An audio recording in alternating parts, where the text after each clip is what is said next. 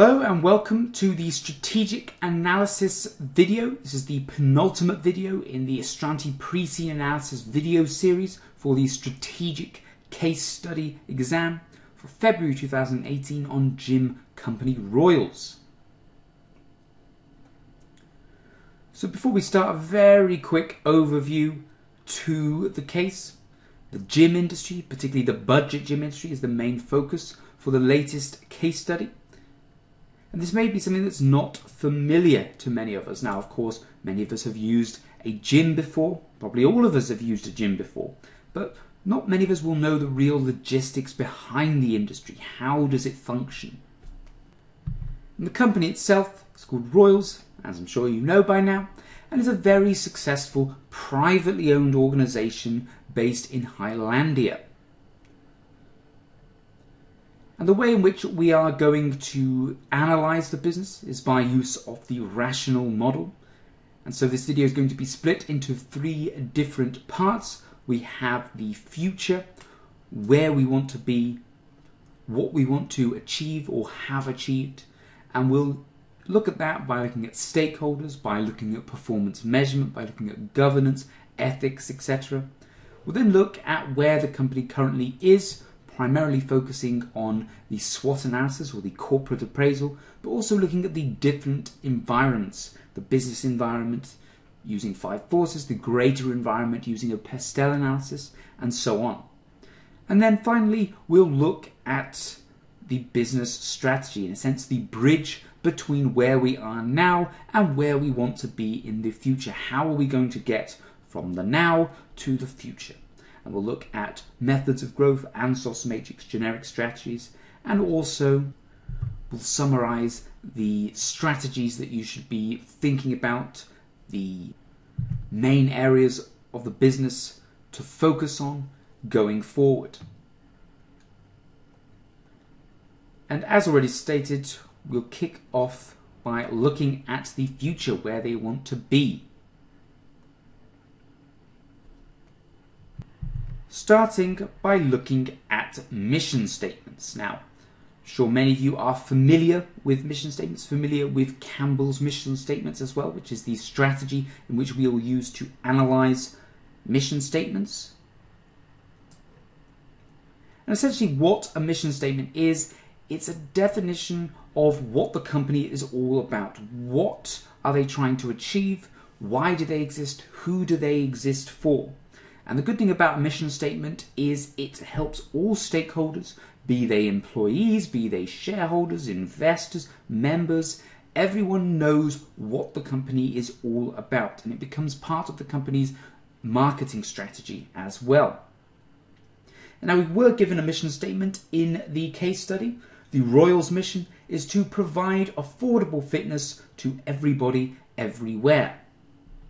Now, this is very straightforward and to the point, which is what a mission statement should be. It should be open ended, not something that is very tangible and, in a sense, empirically achievable. Because that's what a goal is, that's what a strategy is. A mission statement should be, by nature, very large, very overarching.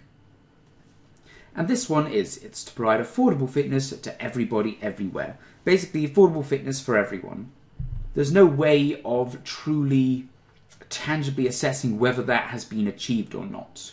But it shows why the company exists. It believes that fitness should be for everyone, and fitness should be for everyone everywhere. No matter where you are, who you are, you should be able to do something that helps you to look after your fitness.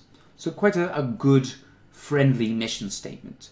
So let's look at the different parts of the Campbell mission statements or the good elements of mission statements to see whether or not this is achieved by this mission statement. So we've got four different parts here, starting with purpose. Why does the organization exist? For whom does it exist?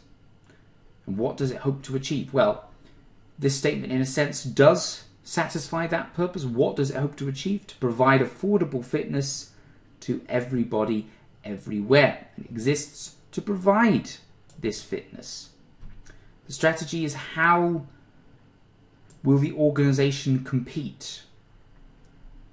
what kind of areas is it operating? It's operating in the budget gym industry. It's providing affordable fitness. That's its strategy to be affordable.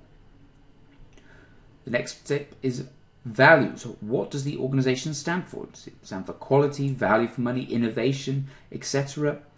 And so, arguably, you could link this back to affordable fitness as well. And finally, we have policies. Now, policies are the things that people within the organization are expected to follow in order to ensure the company meets the purpose, strategy, and value requirement. It's basically the, the credo of the staff of the organization. And the purpose of this is to ensure that everyone is working to the same goal, the same end. One of the problems you have with organizations, particularly functional structures, which is what Royals do have, in that it's split by various different departments, is each department may have their own goals. Each department may have their own objectives. By having a mission statement, by having a purpose, a strategy, value, policies to follow, it allows everyone to work towards the same end goal. So, an okay mission statement overall. The purpose is definitely there. The strategy and value could perhaps be better defined. It doesn't really talk about what we value as a company, nor does it really say how we compete or the areas in which we operate in. There's no mention of the budget gym market as such.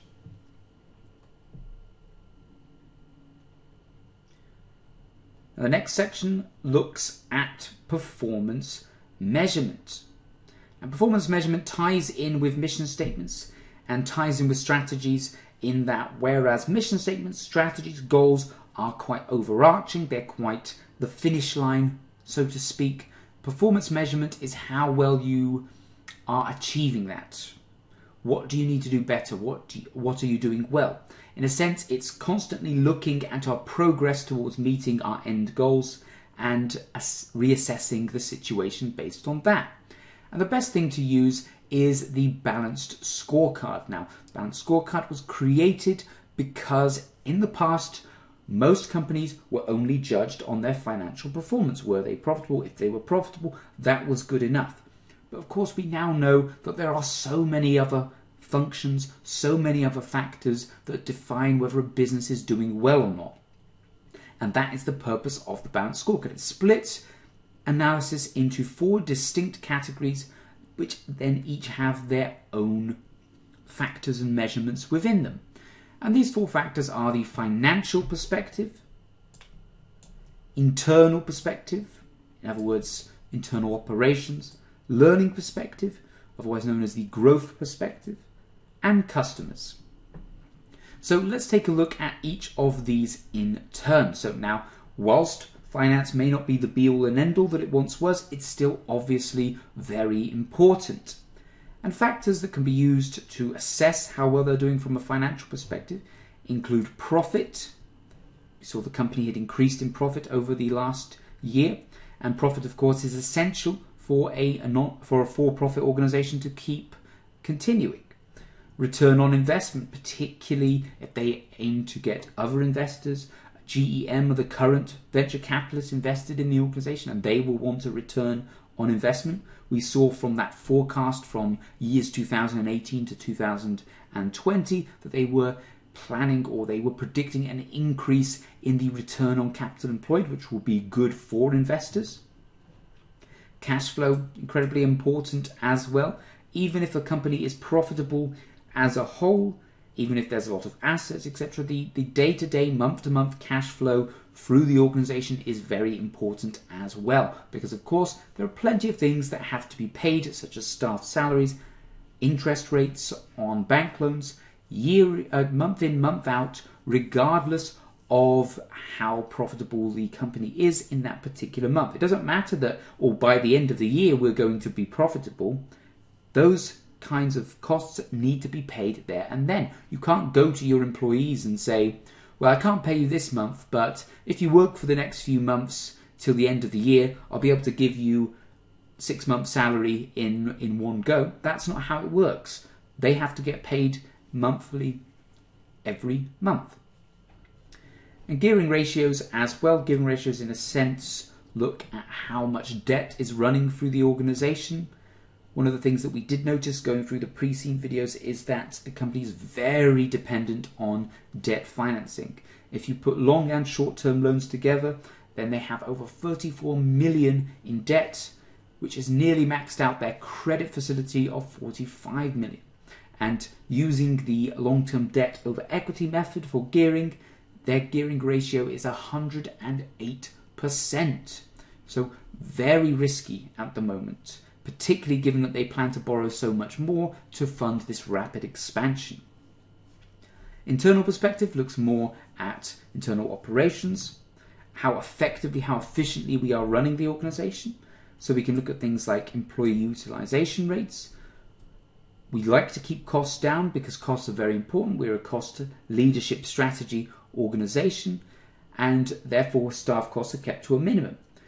But if staff are not being used efficiently, then they are a wasted cost. We staff our gyms from our average 16 hours per day. Could it be that there are times where they do not need to be staffed? Just like over the evening they don't need to, or over the night they don't need to be staffed because of the the system that's set up that allows people to use the gym unsupervised could we be doing more of that in the day as well on job oh sorry on time job completion rates particularly for the furnishings of new gyms if we want to get as much profit as we can, as much return on investment we can from a new location, we have to get that gym operational as quickly as possible. And so job success rates and completing under budget also come into that as well. To operate as efficiently as possible, we need to be completing these jobs on time. Space utilization comes into that as well. In the pre it mentioned about how they use technology to ensure that the, the maximum amount of space is used in the gym or is used efficiently as possible. So we can score ourselves by how well we are doing that. We can also use that information to perhaps remove machines that are not being used and replace with machines that are far more popular. Because we don't want a case where we've got 10 treadmills and we've got 10 exercise bikes and there's 15 customers in the gym, two are on the bikes, 10 are on the treadmills, and 3 are in a queue waiting to use the treadmills. Because if that's the the situation they find themselves in, then they'll be thinking to themselves, oh, I don't like Royals gyms, there's never any room on the treadmills, I'm going to go somewhere else. In that case, it'd be better to remove some of those exercise bikes and replace them with some more treadmills. Employee satisfaction is important. We have very low staff costs, but the staff that we do have are well trained, they're very knowledgeable, they need to be trained in health and safety, etc. All of this costs a lot of money, and therefore we don't want to spend time getting employees up to speed. We want them to stay so that we don't have to worry about those costs. It costs far more to keep replacing employees than it does to just pay an existing employee a bit more to keep them satisfied. So that's another thing we need to look at. Investment in IT mentioned as one of the, the critical success factors of the organization as well, mostly with regards to utilizing space, with regards to data and the online booking systems and all these other things that the company does that helps it run as efficiently as possible. So we need to look at how much we are investing in that and keep investing in that to ensure we're constantly at the cutting edge of technology. And if investment is the input, Innovations are the output, and that comes under the learning perspective. If we look at companies like GymGo, they are seeing huge increases in the number of people using these innovative virtual gym apps. And that allows them to cut their costs even further because now all the equipment is actually at the customer's or the member's house. They're not even having to spend money on physical assets for that, but they're still getting a similar amount of revenue for it. And that's the kind of innovation that we at Royals need to be doing as well. Other things related to growth could be the number of gyms opened and the number of projects completed. Projects could mean anything. It could be the introduction of a limited range of classes. It could be the introduction of an app system. It could be the various phases of growth linked to the number of gyms. So phase one, we're going to open five new gyms in this area, and so on. All of these go towards scoring how well the company is doing with regards to its growth strategies, to its overall goal. We know they plan to open many more gyms in the next few years. There are 125 now. They want to be at 175 by the end of 2018. They want to be at 300 by the end of 2020. And new marketing initiatives as well will help drive more people into Royals gyms as well, because that's another thing they want to do. They don't just want to increase the number of gyms, they want to increase the number of users per gym. And so, of course, given all that, members are very important as well. One of their strategies and their critical success factors was gaining new members and retaining old ones. And so, of course, we need to look at the number of customers and repeat customers as well. How many people have perhaps used Royals gyms for a month or two and then not used them again? Has that person lost interest in fitness or have they gone to another gym? The more people that come back to the gym, the more profitable the gym will be because, of course, new customers need more marketing to get them to come in. New customers need to be trained and inducted on the machines etc. Whereas repeat customers, they pay the exact same fees and subs as new customers, but they already know how to do everything. Our inputs with regards to repeat customers are far less. A number of complaints as well, just like the story of if there's too many people on the treadmills, etc. That's the kind of thing that will also show how well we are meeting our customer needs. And perhaps the company could perform some sort of feedback survey in order to achieve that or to, to get the kinds of information they need.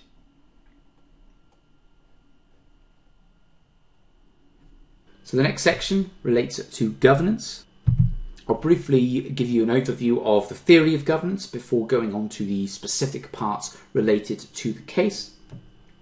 So essentially governance is the way in which organizations are directed, administered and controlled with the aim of ensuring that the organisation is run in a way that is right for all stakeholders. So essentially, ensuring that a business is run to benefit the stakeholders and society as a whole. So, you know, sounds very good. And it's worth noting that this is only applicable to UK companies and listed companies at that, companies that trade on the stock exchange. But that's not to say that there aren't things that we can take from this and apply to any organization. It doesn't matter where that organization is based. Just as in our case, it's not based in the UK. And it doesn't even matter if the company isn't listed, because of course it's all about running the business in the best possible way. So just because you not you don't have to do it doesn't mean that you couldn't gain from it. Let's just take a look at some of the few key factors from the, the Code of Governance. What is considered good governance? And that's having a separate chairman and CEO. Of course, the CEO is head of the organization, and the board is ahead of the CEO. And so the, the CEO runs the organization on behalf of the board, and then the chairman is the head of the board.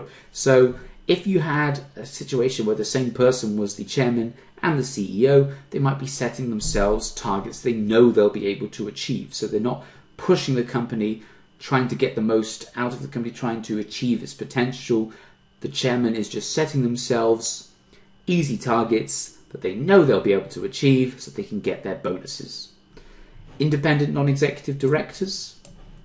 Uh, these are people who are not employed by the organization, they sit on the board to, in a sense, act as the control for the executive directors to ensure that the executive directors are running the organization in a way that is beneficial for stakeholders and not for themselves. This, of course, it goes some way to removing the issues caused with the agency problem. Now, agency problem is essentially where directors are running the organization on behalf of the shareholders. Now, the shareholders own the company, the directors don't but the directors are in charge of the company.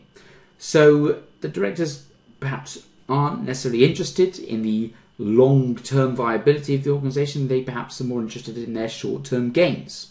So they may leverage short term, uh, long term sustainability, long term growth for short term, short successes, small successes, so that they can boost the share price of the organization, so that they can boost the dividends paid out to the shareholders and get their bonuses and move on. And so that's the point of the, the non executive directors. Non executive directors also need to be people who are skilled, knowledgeable, not just any old person. They, they need to know whether what the executive directors are doing is right or wrong.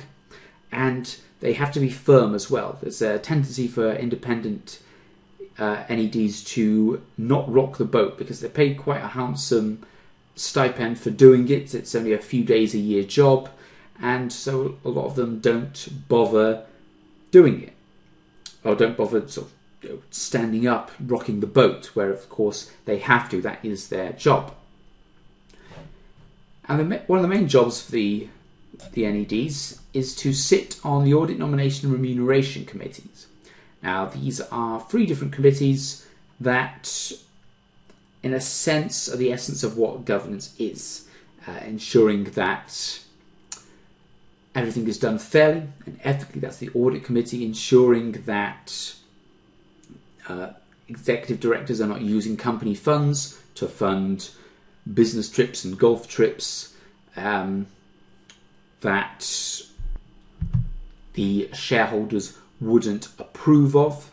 Uh, for example, if you're if an executive director is taking a client to Dubai for two weeks to discuss a business opportunity on the company's dime in a five star hotel, well, it could have been it could have just been a couple of hours meeting at the company's office. That would have been enough. Yet they chose to to go on holiday for two weeks in a five star hotel. That's not an effective, efficient, correct use of company money, and that's the kind of thing that the audit committee is responsible for stopping. The nomination committee are in charge of selecting people to sit on the board, selecting the executive directors, and this to ensure that the the chairman or the CEO doesn't simply bring their son or their daughter or their husband or their wife on board to the company to, to earn extra money for the family, to, to give them an opportunity. No, it needs to be someone who is right for the job, someone who is experienced, someone who has knowledge in the industry, and generally someone who is not related to other members of the board because this, of course, affects their independence, affects their ability to, to think. And perhaps increase the chance of them being biased. And remuneration committees as well. These are the committee. This is the committee responsible for deciding the pay on the directors, and this is because directors' pay and this directors has to be disclosed to the public, and so of course it's important to to come across with a uh, to come out with a fair level of payment. If the company that you work for is not doing so well. It made X million in losses and it's got to lay off employees. But then it's also found out that the director had uh, a 40 million pound bonus this year, which was a 20% increase on last year's. Then people are going to I think, well, why? Why is that director getting a bonus, a raise, when the company has done worse this year than it did last year? The company didn't meet any of its targets it was supposed to be trying to break even this year and it made millions in losses, yet you've given the director a bigger bonus than you even did last year. That's the kind of thing that will really frustrate the public, uh, turn the public against the organization, turn the shareholders against the organization, turn the the other stakeholders, such as the employees, against the organization, and that is what governance tries to overcome. It's also worth pointing out that governance has a risk management focus, particularly with regards to the audit committee. Uh, so the audit committee is often charged of creating things like risk registers and other things like that that ensure that risks are being dealt with. Because it's one thing to identify risks, it's another to actively go about mitigating the impact of those risks. And that's one of the, the values of corporate governance. Financial reporting and control also very important, ensuring that all the statements are done as per the laws of the particular country in which the organization operates in, ensuring that directors have all the information they need, because of course they can't really be judged on their decision making if they aren't given the amount of information given. So this, this system is to ensure that all executive directors are provided with all the information that they need to facilitate good decision making. And with regards to decision making, that all directors are involved in it. And this means even if it means taking, you know, something as simple as a show of hands, just ensuring that everyone is involved. Often, in certain situations, if you've got, say, founders of the company still sitting on the board, the founders are very powerful. Everyone agrees with what the founder says. And that's against governance. The whole point of a board is that there is a consensus amongst a group of people rather than one person making all the decisions. So if that isn't happening, if one person or two people or half the board are far too powerful, then that goes against the point of a board and thus against the point of good corporate governance. And regular meetings with both institutional shareholders and all shareholders at the annual general meeting. Institutional shareholders, of course, being things like your pension schemes and big stakeholders, big shareholders like that. And it's important that we do this because of the fact that they have a lot of money invested within the organization. If they were to take their money out of the organization, it could cause a lot of problems with the market because the, the share price might drop, as people may be thinking that there's something wrong with the organization or it's on the decline because this major institutional shareholder has decided to take their money out of it. So that is governance from a theoretical perspective. So, with all that in mind, let's now look at governance applied to the case. Now, of course, as a private company not based in the United Kingdom, there's no real need for them to apply governance. But of course, as it's the way in which an organization is best run, administered, controlled, etc., in the interest of all stakeholders, there should always be something that we can learn from it. Now, there's definitely the chance of some conflict of interest occurring in the case. The main one being Carl Judd, who is the Chief Financial Officer. And the reason why there's conflict of interest risks here is because that he used to work with the Ministry of Health. And we know from the pre-seen, know from those articles that the Ministry of Health are planning on rolling out some new health initiatives. So if you were to use his position or his former position within the Ministry of Health to help get a good deal for Royals or to help ensure that Royals gets a piece of that initiative, then even though that's good for the company, it's unethical and thus is not good governance. So we have to be in control of these sorts of things as well. And the same for the two brothers, the two founders of the organization. They both have close ties, either running or were running big organizations that specialize in sportswear or specialize in buildings. Two things of which could be involved with Royals gyms. We could start selling sportswear. We could perhaps start buying new land from this property development company that was owned by Frederick King. Now, this, of course, is not good for the the company because it does mean that we are using power. We're using uh, the board members are using their positions to perhaps circumvent due process to unfairly gain for themselves. But of course, we do have a rigid process in place. You remember from the pre-seen there was a rigid process in place for analyzing any new potential site. And thus, if it doesn't fulfill all that criteria, then it's not a good location. If it does, then it is a good location. Doesn't matter whether it's a site owned by Frederick King, as long as it's gone through due process, it's not a contract a conflict of interest. And on the subject of the, the two King brothers, we have an issue of the agency problem. Now, the agency problem essentially exists where the the board members of the board are not owners of the organization, the shareholders are owners of the organization, and Instead of running the company in the long term interests of the company from a sustainability perspective, they run it from the short term profitability to try and get their bonuses, etc. Now, this is reduced dramatically in this instance because it's a private company and because the two brothers are owners of it. And therefore, when the company does well, they do well. So they're unlikely to leverage long term sustainability for short term growth.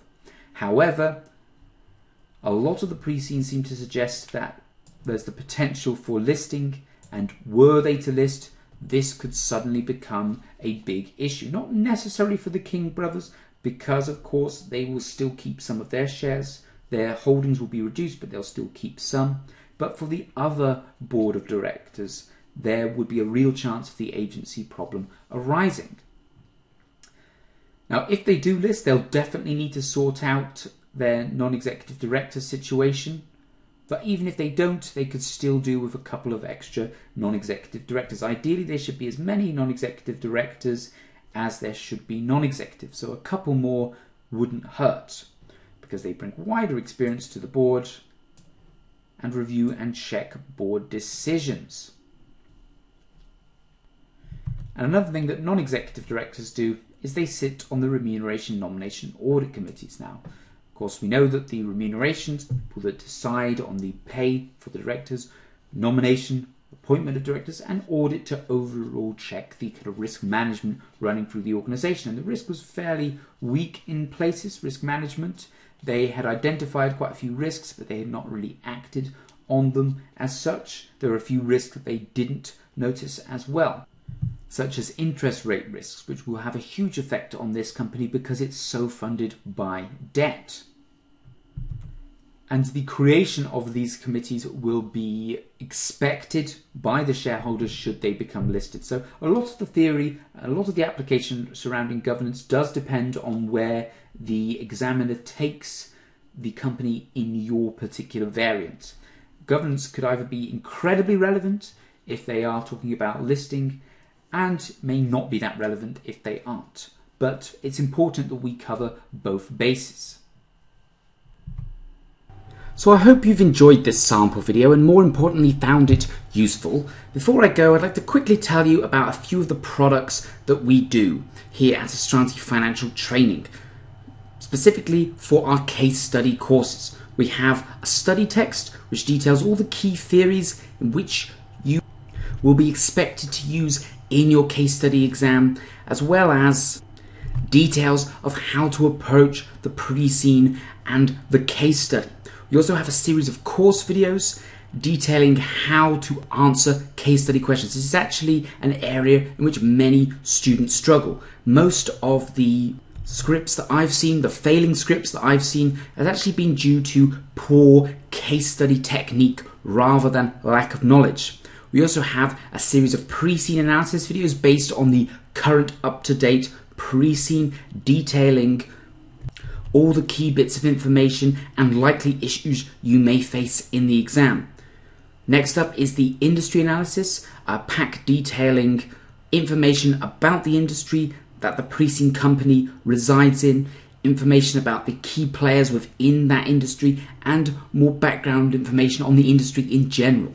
We also have a range of mock exams created for each level and based on the current pre-seen which is a great way to get some practice in before you sit the real thing. We also offer marking and feedback on those mock exams so you can see where you are going wrong and where you can improve.